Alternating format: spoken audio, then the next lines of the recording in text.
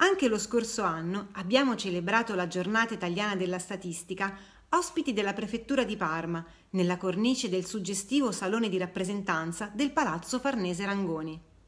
Con un centinaio di studenti abbiamo affrontato un tema particolarmente sfidante, la statistica per costruire un futuro sostenibile e ci siamo messi in gioco per provare a immaginare un mondo più equo. Partendo da una panoramica degli obiettivi dell'Agenda 2030, contestualizzando i dati al territorio dell'Emilia-Romagna e proponendo ai ragazzi di sfidarsi in un gioco a quiz con il proprio smartphone, abbiamo voluto dare concretezza ai tanti ragionamenti di attualità che appassionano i giovani. Dopo la premiazione dei vincitori ci siamo salutati con la consapevolezza che ciascuno di noi, anche con l'aiuto della statistica ufficiale, può fare la sua parte per promuovere il raggiungimento degli obiettivi dello sviluppo sostenibile.